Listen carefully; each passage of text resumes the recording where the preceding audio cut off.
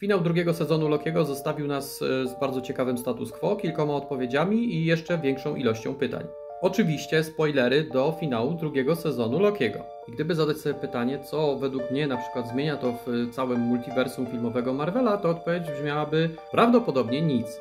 No okej, okay, siedzi sobie na tym tronie i zawiaduje tym, żeby w ogóle multiversum mogło istnieć. Czy to oznacza, że w jakiejś historii po prostu wejdzie i rozwiąże problem? Obstawiam, że nie. Max, co możemy liczyć, to to, że pojawi się w Secret Wars, y, przybije piątkę z Torem i pochwali mu się, że został nagle y, samozwańczym bohaterem całego multiversum.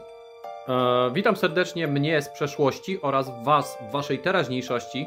Problem jest taki, że jak nagrałem tamten wstęp, to potem nagle przestałem mieć czas i zapomniałem o tym, że go nagrałem, więc y, za cholerę nie pamiętam, co miałem wtedy do powiedzenia, ale wiem, co na dzień dzisiejszy miałbym do dopowiedzenia w tym temacie. I pomyślmy tak, skoro TVA znajduje się poza czasem, to może Kang, ten, który pozostał, czyli ten, który zginął pod koniec pierwszego sezonu Lokiego, tak naprawdę wiedział, że zginie i zrobił to specjalnie po to, żeby Loki objął władzę, ponieważ wiedział też, że przyjdzie taki moment, w którym e, Loki będzie musiał oddać tą władzę jemu. Czyli taka wiecie, wielka pętla, mamy rozgałęziające się multiversum pod rządami Lokiego, a potem trzeba je poprzecinać i doprowadzić z powrotem do jednej świętej ciągłości fabularnej, a to może zrobić tylko Kang, aż wcześniej czy później przyjdzie znowu Loki i to się wszystko zapętli jeszcze bardziej. Wiem, brzmi szalenie, ale żeby to się spinało, to tak naprawdę wystarczy, żeby ten Kang, który pozostał, który jest w pierwszym sezonie Lokiego, to tak naprawdę była późniejsza wersja tego Kanga, który pojawia się w ostatnim Ant-Manie.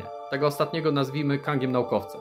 No więc Kang naukowiec zostaje wciągnięty do tego dziwnego silnika. Jak znika, to ten efekt, jakbyśmy już gdzieś widzieli, trochę przypomina ten efekt, w którym ludzie obrywają pałkami od TVA i nagle lądują na końcu czasu, gdzie wielka diaboliczna chmura wszystko zjada. No i po drugim sezonie Lokiego pamiętajmy, że na końcu czasu znalazła się jedna z postaci, która wspierała tego, który pozostał. Więc gdyby Kang Naukowiec znalazł się na końcu czasu, a to wszystko działa w jednej wielkiej pętli, no to a, wielka demoniczna chmura byłaby w stanie go rozpoznać, wiedzieć, że to w sumie on ją tu umieścił, żeby zeżerała wszystkich, którzy wymagają zeżarcia, ale też mógłby zostać z tamtego miejsca zgarnięty razem z tą ekstra postacią z powrotem przez Lokiego i objąć władzę w TVA i przywrócić to w TVA, co było przed pierwszym sezonem Lokiego. Jeżeli oczywiście na jakimś etapie Loki uznałby, że jest to mm, niezbędne do czegokolwiek. Taki jakby naturalny czasowy krąg życia. Teoretycznie postać, którą ze sobą zabrał z końca czasu, powinna to pamiętać, no ale biorąc pod uwagę, że co środę czyszczą pamięć wszystkim w TVA prawdopodobnie, no to nie jest to takie niewiarygodne.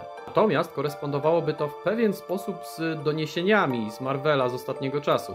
Między innymi takimi, że Kang nie sprzedał się jako nowy wielki Thanos w taki sposób, jaki się spodziewali. Dziwna sprawa, okazuje się, że jak zrobicie w cholerę wersji jednego złola i pokażecie, że mogą go pokonać mrówki, albo zabijecie go, nie wiem, dwa razy pod rząd, to nagle przestaje być w ogólnym odczuciu takim jakby wielkim zagrożeniem czy coś. Może to też mieć jakiś związek z faktem, że odtwórca roli Kanga ma spore problemy z prawem, co może w przyszłości stać się problemem dla całej serii filmów, no ale to swoją drogą.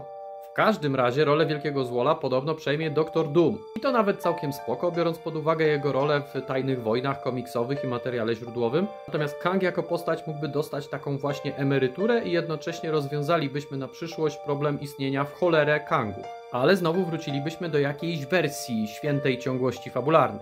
Możliwe, że troszkę zmodyfikowanej. No i rozwiązalibyśmy też problem multiversum, które rozwadnia fabuły do poziomu, w którym e, wszystko przestaje mieć znaczenie. Pożyjemy, zobaczymy.